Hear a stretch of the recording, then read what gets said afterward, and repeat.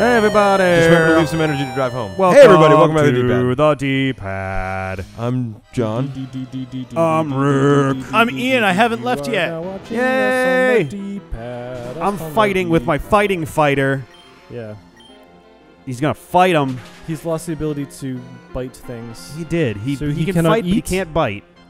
He cannot eat Ah, or Sonic chew. Boom. Blech. Oh, I guess I don't have to be that con- like terrified of Sonic Boom anymore, but it's still m- way more damage than anything else they can do right now to me because I'm a higher level. Yes, but it still doesn't matter. Yeah. Did you decide what you want to do with your life yet? Uh, in what way? I don't know. Where you want to live, what you want to do, what you want to do school, what you want to, st- who you want to be. No. All I have decided literally none of those things. Makes you feel better. you- I'm six years older than you, and I too am Yeah, feeling the I mean, same. do you ever really like? Well, that's maybe the problem with us, Ben. Maybe we should just d- decide. That is definitely a thing that shit.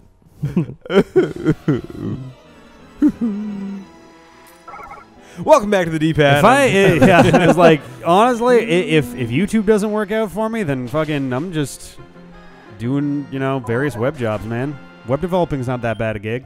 no, no, no. It's actually full disclosure. If you can get the right kind of job as a web developer, it is a thoroughly sweet gig. Yeah, absolutely. It pays kind of like well to a point that it makes me feel wrong that it can get paid that much. Great English. I mean, He's a web developer, not an English teacher, Yeah. right, bitches? But no, you can. If you learn web dev, you can definitely make a pretty giant chunk of cash if you if you find the right jobs. Wish I knew that earlier. What's It's that? too late. Two No, of I your know. We can best teach you friends web do dev. it. I know, I know. and you'd be good at it. I I don't was know. gonna say, I like. John and I are what sixty percent of More than that. yeah. The web dev faculty of the school. I think we've ta- I think the two of us have taught eighty to eighty five percent of that cur- of that Yeah, one class's group, curriculum Yeah. over the last what eight months nine months. and it's not just like we know web dev. We're, our job is to teach people web dev. Ben. Yeah. And um, you're smart. And you're good with computers. And I- I'm your really brain is good at like- Pokemon, which means that you could be a Yeah, being able to being able that- to think That's a little bit of a True leap. fact. like, well no being it able actually- to think analytically I like, like cartoon that is animals. a major You'd be good boon. at web dev. But no, you're like, oh well, it has a high base stat and has this ability, and then it uses a special attack, and I it's like you're a guess. defensive having, type, and having like an analytical mind and a, and a mind for complex systems is an enormous boon when it comes to. I actually struggled with it when I first started because I am more of like a duh the sky kind of thinker. Um, don't know. and so doing those kind of things There's our didn't come title. as naturally Duh the to me. sky. Duh, this guy.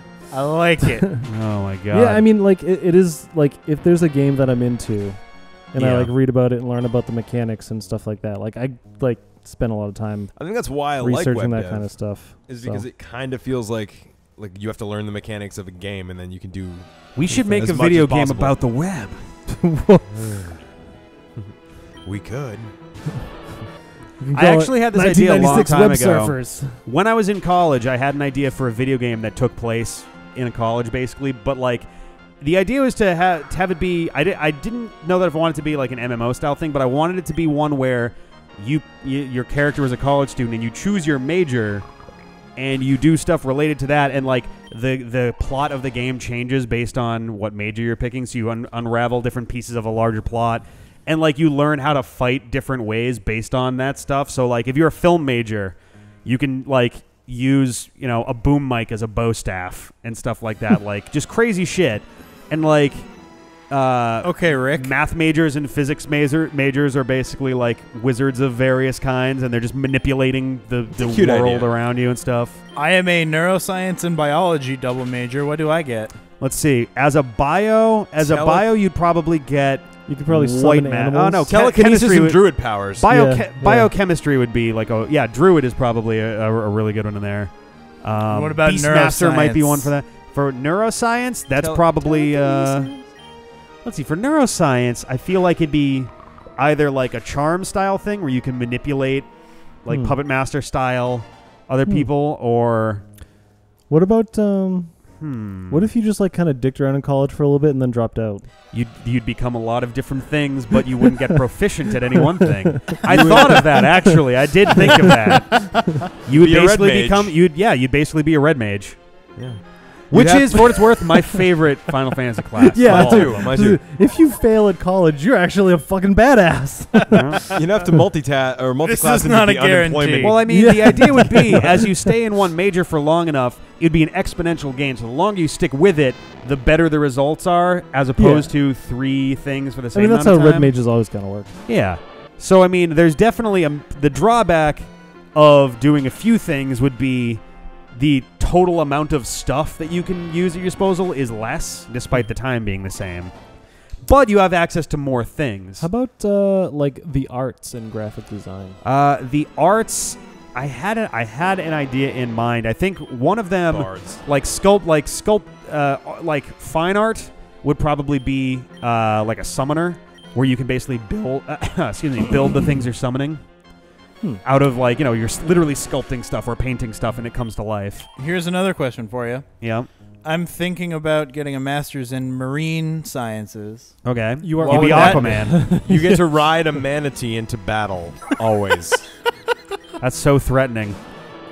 hey, if you ran into a manatee in the wrong mm. situation, A manatee is an underwater pillow, man. There's no. I'm thinking of a walrus. Those guys will fuck you up. they will Yeah. fuck you up. Walruses are fucking brutal. They Yeah. are brutal. Did you know those tusks are for like getting Killing.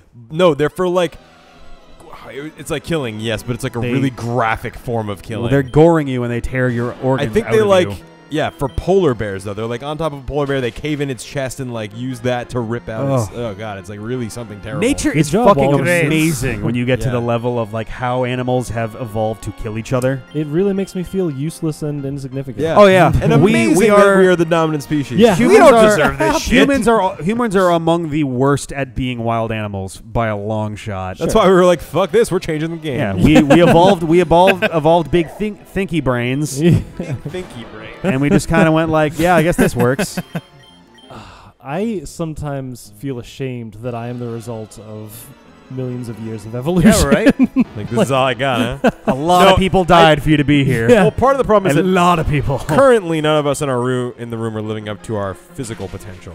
Correct. Well, that's I have true. often thought Sure. about, wow, if I like were just to try and survive in the real nature, Yeah. like I would, I would be dead many years ago. Um, Like, Well, it I would depends not when you survive start, In that's nature. for sure. Or if you were used to it and like conditioned and could actually run and could yeah, actually I mean, we're, like we're evolved deal with to the sun. learn Yeah. and Yes. learn from each other as well. We are a we are a very if I was adaptive not a lazy, species. fat, almost albino white guy, then Your brother is whiter than you are. If I, if we have to look at the difference, uh, maybe it's just I the think, hair, um, but one of the one of the best things that humans are at. bes- So there's two things that we're like amazing at. yeah, It's long distance running, and throwing and catching. that is true. For some reason, we have we have surprisingly strong endurance by comparison to Mm. our to our wilder the, brethren. The way that our like all like everything like our butt muscles and ankles are like all spring loaded to like can like Yep.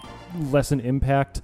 I don't understand that. I feel like the knees were not great. They no knees knees Um, could use some work. but even like sweating is great for long distance running. It keeps Yep. you cool. keeps you from overheating. Um, Basically, Your uh, eyebrows and eyelashes keeps the sweat out of your eyes, so it's like all built to do that correctly. And like what I don't of things. understand is like again, like I understand the science of evolution. I think even the neck and shoulders. but I is, like- just don't buy that all of that is the result of evolution. And it's not Well, that no, it's, it's- not that I'm saying like because my God created everything in this exact way. it's very simple. with a trunk. Like it's very simple. I think people complicate the idea of how evolution really works, but at the end of the day, it's if you are not at peak performance in order to reproduce, then you die. So you're not able to pass your And I genes on, and that's it. Like, totally understand that. But you know what? Yeah, Sweat getting in my eyes is an inconvenience. It's not a life or death situation. Not for It you. can be. No, no, no. four thousand years ago it yeah, would have yeah. been. If you're Even chasing still, down your prey and sweat is getting in your eyes and you can't see, then you can't. see. Then you go hungry and die. Like, I- Mr. Bushy living in the living in the cave two blocks pl- blocks north. He's got big old fuzzballs on his face, and he has no trouble hunting at all. Yeah. And all the ladies are like, "That guy brings home the bacon." I, I get Literally. it. Literally, I get it. I just it, it seems like it's almost too clean of an explanation sometimes. No, it's it's true. Um, I Um, again, it's not like I'm saying because like you know the aliens created us in the way they did intentionally. It's not that Yeah. either. It's just that I feel like, you know, or like fingernails. I w- oh, you got real close to where I was going to go with it. I'm like my my biggest confusion over evolution is uh, unique unique markers. like finger like fingerprints, Yeah. uh, iris. Oh, I don't think that's an intentional thing. I think that's a well, obviously not intentional. You know what I mean? I think it's a bug, not a feature. Oh, I would agree. It's just it's very bizarre that that we have I more or less proven that it's virtually unique. The odds of any two people sharing a fingerprint is like of It's- sharing it one fingerprint is like trillions to one, basically. Uh, that's probably actually a, a very liberal guess too. Identical twins have the same fingerprint, right? No, I don't think so. No, they don't. I don't Really? think so. Huh. I guess that makes sense. Their DNA is very similar. Uh, I don't think their fingerprints are the same though. You want to look that Let's one check up? that one because I That's feel like interesting. Yeah. I feel like the answer is no, but I I feel like the answer I'm- is yes. I haven't studied this area Yeah. at all, so I, I don't know. Because there's a lot of a popular the- trope with so with twins is like one will commit a crime and the other one will get will get you know the blame for it or something or get arrested for it or something. But like So like, is the problem? So identical twins have the same exact blueprint. So the end product should be pretty close to the same. mhm. So Pretty does the fingerprint changing happen at the blueprint phase or at the execution phase? how come we couldn't have these trying to say? questions when we wh- how come we can't have these questions with a twin in the room? Well, he's not an identical twin. He doesn't. He wouldn't know. No, that's, shit. I guess that's fair. Wait, who is a twin? Dustin. Dustin, Dustin and Jana were born on the same day. They're fraternal twins. Oh, I do not know that. I forget what like is you the haven't met is, Jana, have you? I have not. is the definition of a fraternal twin literally just not an identical twin? yeah, it's Okay. twins, but not. Yeah, and that's any eh, by definition any twins that are uh, male and female pair obviously Can't be can't identical. be identical. I mean, y- I feel like you could make an argument that it's possible, but very like exceptionally rare.